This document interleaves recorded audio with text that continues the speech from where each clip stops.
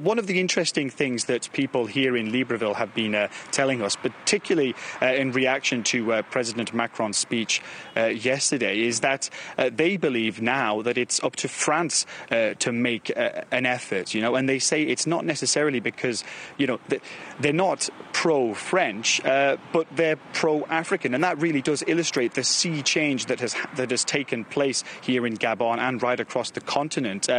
because African countries no longer long, no longer choose France as their partner by default. Uh, they can choose uh, with whom they want to work. So, you know, you can no longer take for granted uh, the fact that French presidents will be warmly greeted uh, by uh, locals, uh, and that's because, you know, in small, that, a part of that is because France's image has taken a battering right across the continent, particularly in Western Africa, in no small part down to Russia too, which has been stoking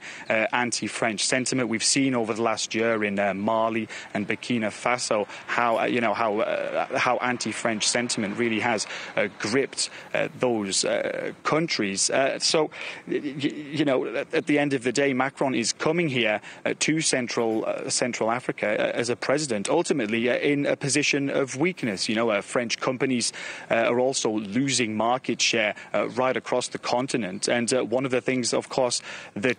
that Macron will be trying to do uh, is to reverse those trends. Andrew Hilliar reporting.